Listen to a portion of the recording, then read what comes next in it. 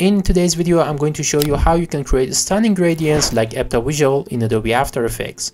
Creating this type of animation is really easy and you can impress your audience with these three steps. It all starts with the design. Alright now, in order to demonstrate it better, I'm just gonna start with the sphere. So in order to do that, I'm just gonna go towards the ellipse tool and I'm gonna double click on it to create a circle. Now, on the first step, what I'm going to do is that I'm just going to click on fill. Now we'll turn the fill option from a solid color to a radial color.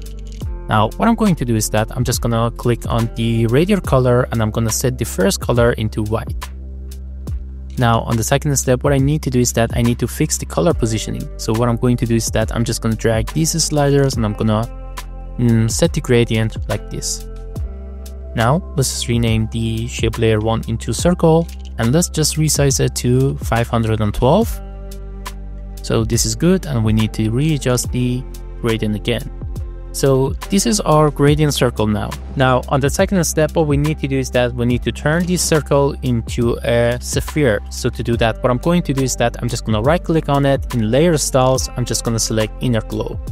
Now what i'm going to do is that i'm just going to navigate through the inner glow I'm just going to increase the size, for example, to 109, and then I'm just going to set the color to white.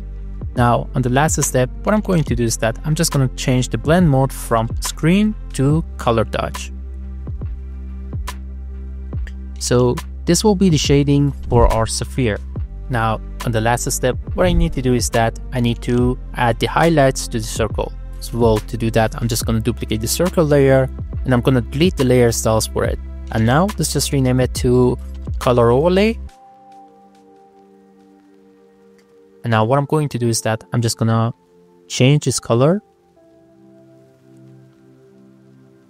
And on the next step, what I'm going to do is that I'm just gonna parent it to the main layer so it follows the main movement. Lastly, I will readjust the position of the circle and I will use the track matte tool to parent it to the circle. Now I will click on the eye icon in here to reveal the original layer. As you see, now the color overlay is blended into the circle, but it doesn't really look like a gradient. Well, in order to fix that problem, all you need to do is that you need to select on the mode and change the mode from normal to classic color dodge.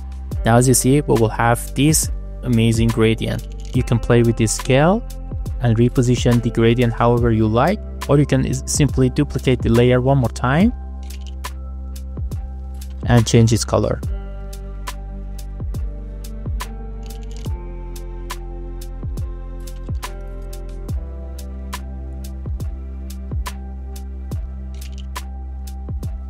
Now on the last step, what I'm going to do is that I'm just going to press R for rotation and I'm going to rotate it for one entire rotation.